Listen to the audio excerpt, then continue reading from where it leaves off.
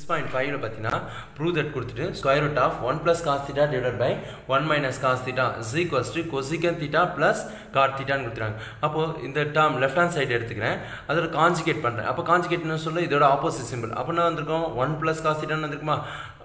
both side multiply பண்ண multi and divided by அப்போது one plus cos theta into one plus cos theta தான் வந்திருக்கோம் one plus cos theta தான் whole square divided by a minus b a plus b தான் வந்திருக்கோம் one square minus cos square theta ஏன்னா a square minus b square இல்லையா அப்போ one square minus cos square theta so next நான் பண்ணுறேன் square root of one plus cos theta the whole square divided by one ஸ்கொயரோட value ஒன்று தான் minus cos square தீட்டாவா அப்போ one minus cos square theta தானே ஆகும் சைன் ஸ்கொயர் தீட்டா ஆகும் அப்போது இந்த ஸ்கொயருக்கு இந்த ஸ்கொயருக்கு இந்த ஸ்கொயர் ரூட் கேன்சல் பண்ணிட்டா ரிமைனிங் இருக்கும்